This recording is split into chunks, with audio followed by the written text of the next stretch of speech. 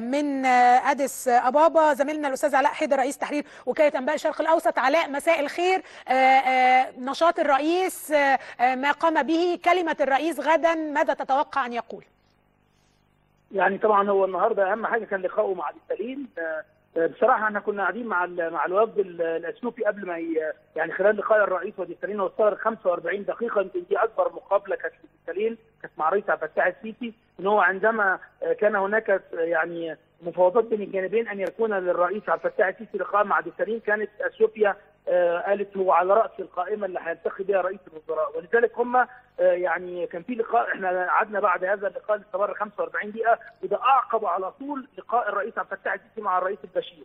يعني الرئيس البشير كان مع الرئيس عبد الفتاح السيسي بعديها بدقيقتين كان لقاؤه مع ديسالين يمكن وزير خارجية أوضح حاجات مهمة جدا إن ديسالين قال خلال اللقاء ان هو يدرك أن مصر هي أن النيل هو شريان الحياة بالنسبة للمصريين وقال باللغة حتى إن ده الحبل السري الذي يربط الشعب المصري والشعب الأثيوبي وإن أثيوبيا لا يمكن أن تنزل الضرر بمصر لكن في نفس التوقيت هو بيطالب أن يأتي المستثمرون المصريون إلى أثيوبيا وهو قبل الدعوة الرئيس عبد الفتاح السيسي إنه يجي هنا في شرم الشيخ يوم 21 و22 فبراير لكي يشارك في قمة الاستثمار وأكد إن هو من أجل المصريين لكي ياتوا لأن هناك بعض المشاكل بعض المطالب من المستثمرين المصريين هو على الاستعداد ليغير لهم القوانين أو إن هو يؤدي يقدم تنازلات أو يقدم مميزات للمصريين لكي يزيد الاستثمار في إثيوبيا. وبالفعل في استثمارات هنا في إثيوبيا من كثير من رجال الأعمال. هو برضه تحدث في نفس التوقيت. هو بيطالب بأن يكون هناك تفعيل للجنة الثلاثية المشتركة العليا بين الرئيس عبد الفتاح السيسي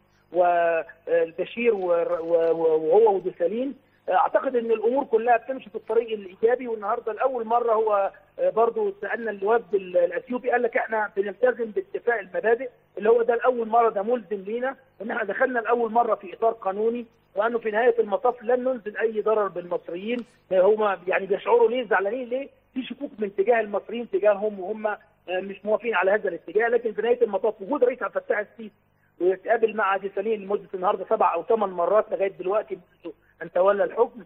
مشاركة الرئيس عبد الفتاح السيسي في حد ذاته في القمم الإفريقية ما عداش ولا قمة إلى جانب اللقاءات الثنائية. هو جاي هنا في أثيوبيا مرتين إلى جانب القمم.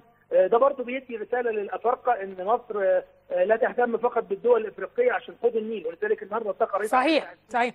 لكن غدا الرئيس يلقي كلمته غدا. مظبوط يا علاء؟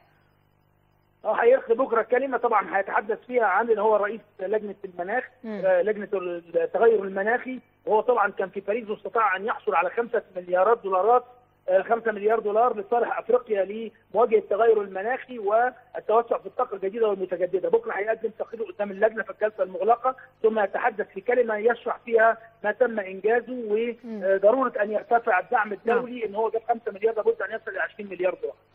بشكرك زميلنا علاء حيدر رئيس تحرير وكالة أنباء الشرق الأوسط.